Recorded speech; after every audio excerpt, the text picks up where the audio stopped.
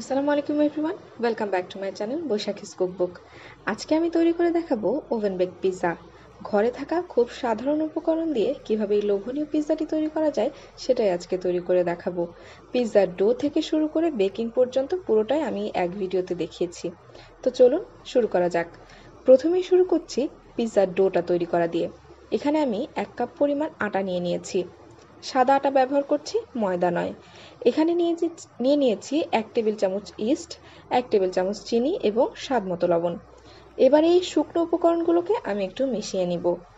আমার ইস্টটা instant east তাই আমি এখানে এটাকে আলাদা করে অ্যাক্টিভ করে নিচ্ছি না। একসাথেই মিশিয়ে দিচ্ছি। খুব ভালো মতো মেশানো হয়ে গেলে এবার এই ডোটা বানাতে হবে একটা কুসুম গরম পানি দিয়ে। খেয়াল রাখবেন পানিটা যেন খুব বেশি গরম না হয়, আবার একেবারে ঠান্ডা না হয়। কুসুম গরম পানি ব্যবহার করতে হবে যাতে করে ইস্টটা অ্যাক্টিভ হয়। এবারে আমি পানি দিয়ে ডোটাকে মেখে নিব।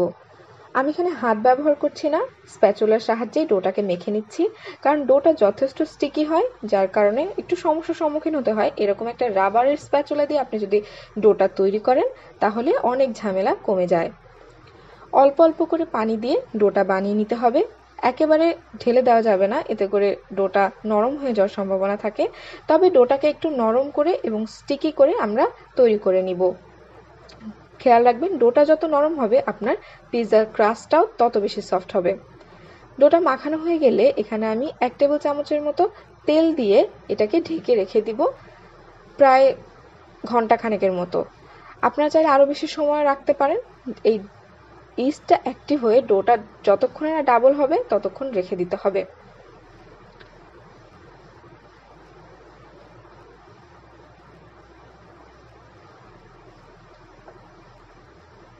এটাকে একটু চেপে চেপে সেট করে আমি ঢেকে রেখে দিব। ঘণ্টা দুয়েক বা আপনাদের ইচ্ছা মতো। আগের দিন রাতে তৈরি করে আপনি রেখে দিতে পারেন। এবারে চলে আসলাম। পিৎজাতে আমরা যে চিকেনটা ব্যবহার করব, সেটা রেডি করার জন্যে। এই জন্য এখানে একটা কড়াইতে আমি সামান্য পরিমাণে তেল দিয়ে দিচ্ছি। তেলটা একটু গরম হয়ে আসলে এরপরে আমরা এটাতে বাকি উপকরণগুলো যোগ করা শুরু করব।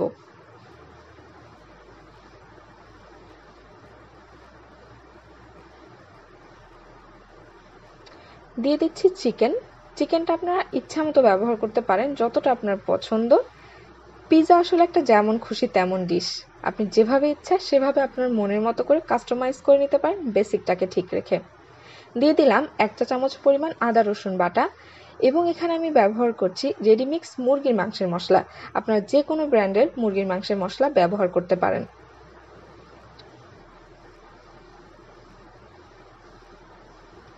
এইবারে চিকেনটাকে এই মশলাগুলোর সাথে একটু নেড়েচেড়ে ভেজে নিতে হবে। আমি একটু স্পাইসি পছন্দ করি, তার কারণে আর একটু লাল মরিচের গুঁড়ো দিয়ে দিলাম। এটাকে এবারে নেড়েচেড়ে একটু রান্না করে নিতে হবে, পুরোটাই কুক করে নিতে হবে। আর চিকেনটাকে আমরা কুক অবস্থাতেই পিৎজাতে ব্যবহার করব।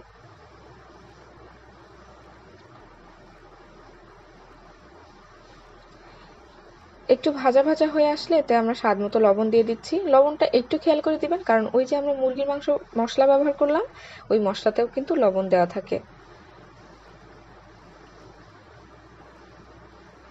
চিকেনটা যখন সেদ্ধ হয়ে এসেছে, একেবারে শেষ পর্যায়ে আমি এখানে যোগ করে দিচ্ছি সামান্য একটু টমেটো ক্যাচাপ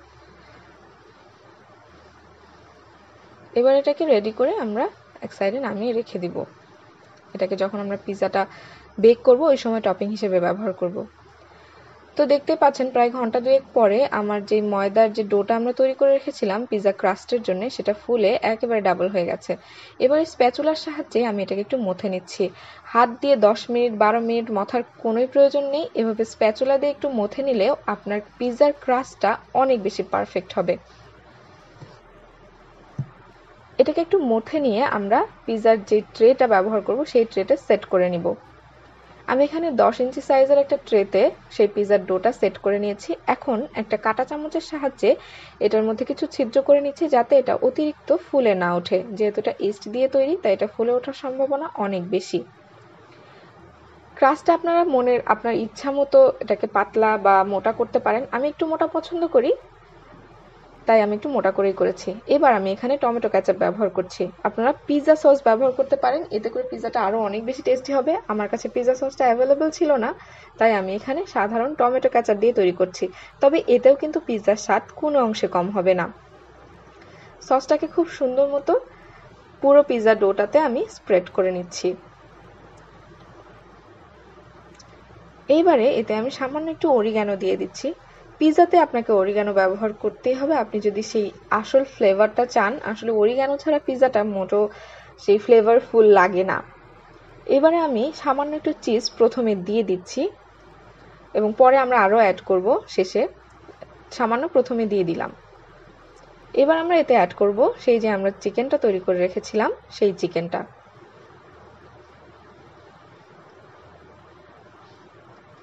চিকেনটাকে চারিদিকে সমানভাবে স্প্রেড করে নিচ্ছি।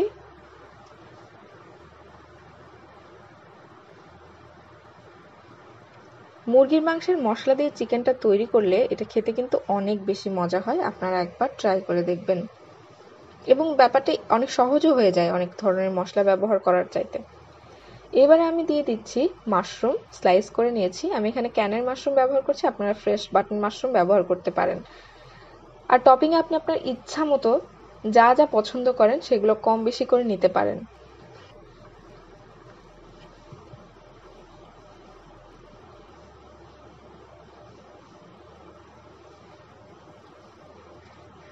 মাশরুম দেওয়া হয়ে গেলে এবার আমি দিয়ে দিচ্ছি ক্যাপসিকাম এখানে আমি শুধু সবুজ রঙেরটা ব্যবহার করছি, আপনারা চাইলে red bell pepper yellow bell pepper use করতে পারেন।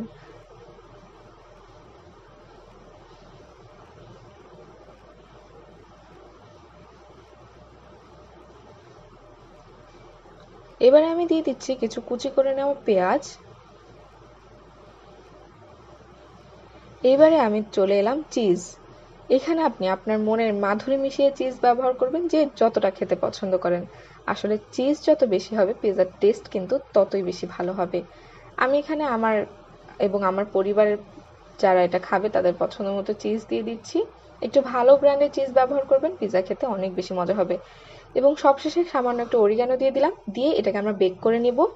বেক করব ওভেনের সর্বোচ্চ তাপমাত্রায় দুইশো পঞ্চাশ ডিগ্রি সেলসিয়াসে দশ থেকে বারো মিনিটের জন্য। পিৎজা কিন্তু হাই হিটেই বেক করতে হয়। কথা বলতে বলতে সামান্য একটু টমেটো ক্যাচাপ উপর দিয়ে দিয়ে দিলাম যাতে কালারটা সুন্দর আসে। চলে যাচ্ছে এটাকে বেক করার জন্য। হ্যাঁ অবশ্যই কিন্তু ওভেনটা সেই হাই হিটেই প্রিহিট করে নিতে হবে। এবং পিৎজাটাকে আমি বেক করে নিয়ে ফেরত আসছি। দেখতেই পাচ্ছেন, আমার পিৎজা বেক করা হয়ে গেছে।